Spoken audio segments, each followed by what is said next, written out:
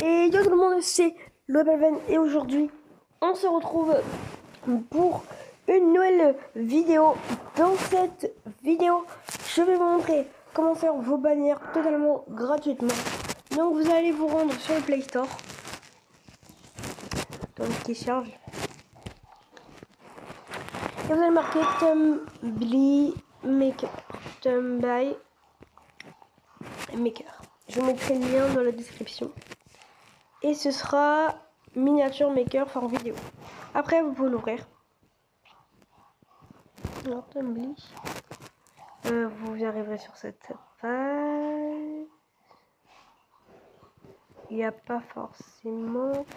Donc, une fois que vous arrivez sur cette page, vous pouvez choisir la photo que vous voulez. Et euh, vous pouvez la monter. Donc, par exemple, rajouter euh, le texte.